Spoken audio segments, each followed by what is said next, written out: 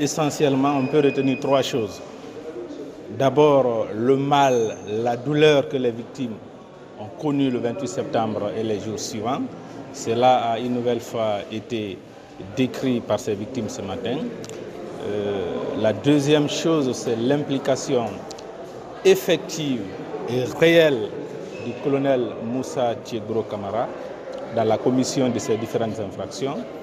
Troisièmement, l'implication effective et réelle de Dr Shérif Diaby. Donc, ce n'est pas la première fois. Les victimes ont déjà suffisamment accusé euh, ces deux. Aujourd'hui encore, les victimes les ont pointés du doigt. Donc c'est cela qu'on peut retenir. Nous sommes en présence des crimes de masse. En présence des crimes de masse, les témoignages constituent des éléments de preuve importants. Dans cette affaire, il y a suffisamment de témoins. Pour le moment, on n'est pas arrivé à la phase de témoins. Ce sont les victimes elles-mêmes qui sont en train de passer pour faire la description des choses. Le moment viendra, il y a les vidéos qui vont être visionnées, mais aussi il y aura les témoins qui vont passer. Et mieux que ça, euh, il y aura certainement une confrontation entre euh, ces accusés eux-mêmes. Et si nécessaire, accusés et partie civile, le moment viendra.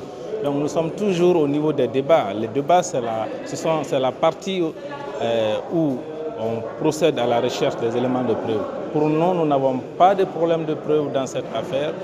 Nous pensons que nous sommes suffisamment outillés. Nous pensons que dans ce dossier-là, pour beaucoup de ces accusés, euh, les carottes sont déjà cuites. Pour le cas du colonel Moussa Tegoro Kamara, il n'y a plus de soucis.